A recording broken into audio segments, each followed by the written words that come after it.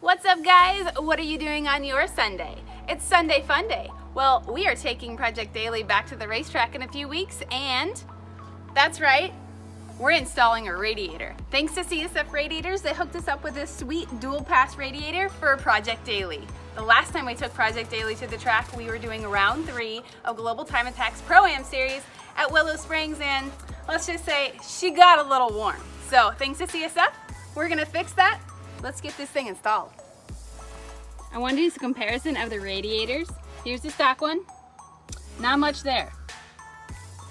Here's a dual pass CSF radiator. Much bigger core.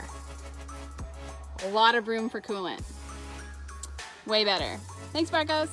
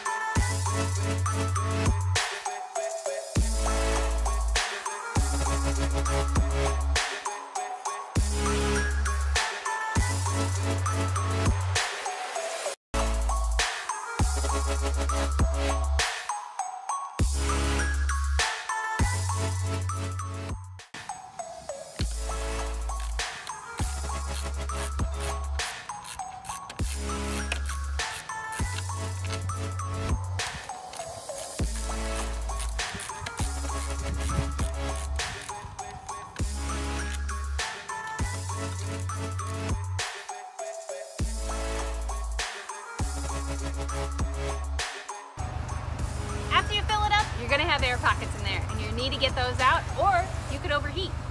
So we use a Lisle funnel and as you can see, it's bubbling and you're getting all those air pockets out.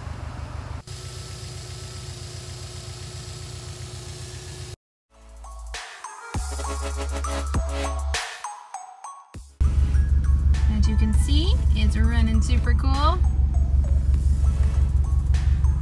We're still watching the coolant.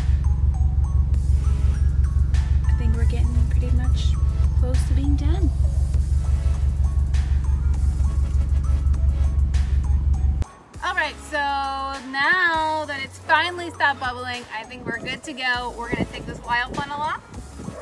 We're gonna put it back together and we're ready to rock.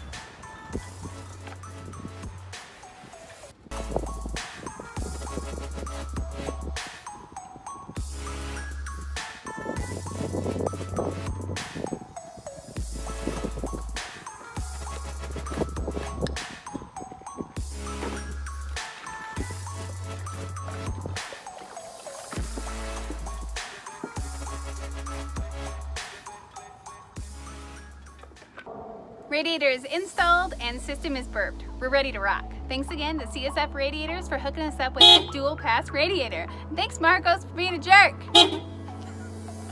We're gonna be out at Arizona Motorsports Park with NASA Arizona. We're gonna be running TT and also the UMS Time Attack Series. So make sure and stay tuned. We're gonna be out there. And so is Marcos, he's still a jerk.